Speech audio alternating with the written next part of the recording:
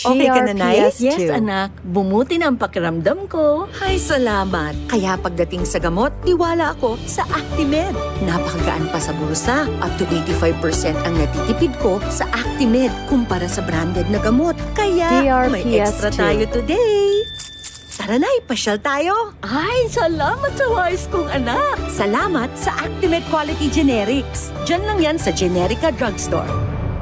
If symptoms persist, consult your doctor.